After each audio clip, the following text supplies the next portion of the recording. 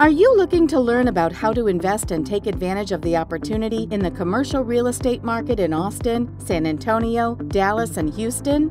Well, there are several types of real estate investment strategy types to learn about, including single family homes, land development, multifamily, office, hotel, retail, self storage, etc.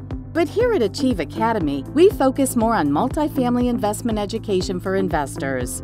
A multifamily is a home with more than five units, and usually we are talking about 100 plus units.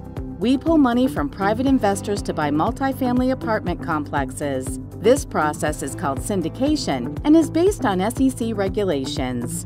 Only accredited investors, someone who earns more than $200,000 per year if single or $300,000 per year if married, or if their net worth is more than $1 million without primary residence, can invest in this venture. Plus, the minimum investment is $50,000 with a time frame of 3 to 5 years and 7 to 10% per annum cash flow with an overall return of 13 to 16% per annum for full cycle investment. As people say, cash is not king, cash flow is king. You can either be an active investor who finds deals, signs on loans, manages the investments, or a passive investor who just funds the investment, collects checks, and gets tax benefits. Passive investors don't do any work. The tax benefits are huge and the primary reason why the wealthy pay less taxes than their secretary. You can invest with cash, IRA, or solo 401k. To know more about passive investing in commercial real estate,